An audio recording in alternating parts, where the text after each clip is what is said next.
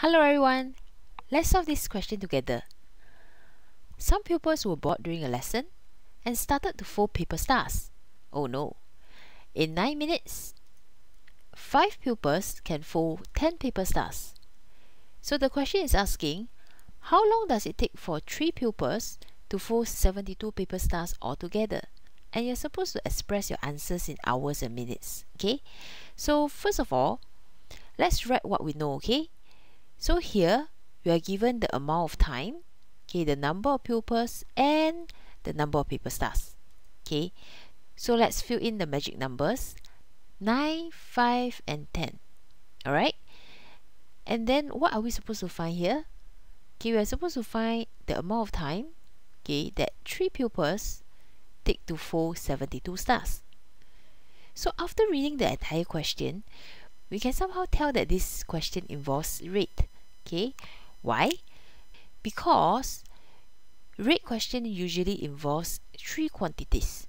Okay, and one of them would have something to do with the amount of time, which we can find here. Okay, so before we start to solve the question, we first need to understand the basic relationship between the three quantities, okay? Time, pupils, and paper stars. So since we know that 5 pupils can make 10 paper stars in 9 minutes, let's ask ourselves this, okay? For the same amount of time, how many paper stars can one pupil fold? If the number of pupils decrease, will the number of paper stars that are being folded go up or down? It will go down, right? Because if you have fewer pupils, you have fewer hands, so fewer paper stars. Alright? So now we know that the number of pupils and the number of paper stars that are folded actually moves in the same direction. Correct? Okay? Meaning that if one decreases, the other one will decrease as well. So since we get one student by taking 5 divided by 5, we can get the number of paper stars that are folded by taking 10 divided by 5 too. Okay, so we will get something like this. Okay, one pupil can fold two paper stars in 9 minutes. Okay? So now that we know that, we need to look at what the question is asking us to find again.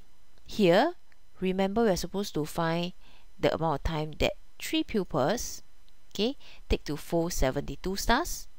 Okay, so now, using the same 9 minutes, let's try to find out how many stars can 3 pupils make. Okay, think about this when the number of pupils increases, right? Okay, does the number of paper stars that are being folded increase or decrease? It will increase, correct? So here, we want to make one pupil into three pupils, correct? Okay, and we do that by taking 1 multiplied by 3. So same thing, we also need to take 2 multiplied by 3.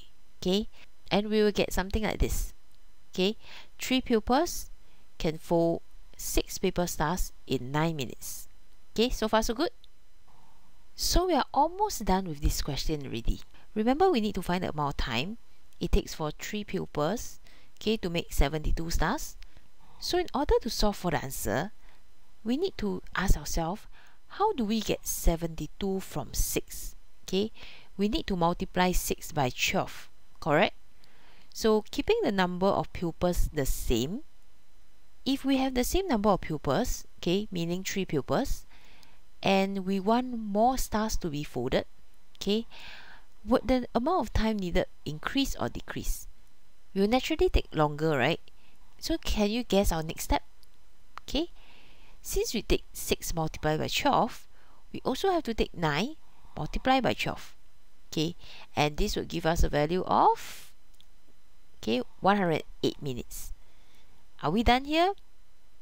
Mm, not quite. Okay, there's still one more step. As the question is asking us to express our answers in hours and minutes, okay, we have to convert 108 minutes to hours and minutes by taking 108 divided by 60, which gives us 1 hour and 48 minutes. Okay, and that's our answer. Thank you for watching and I hope it helped.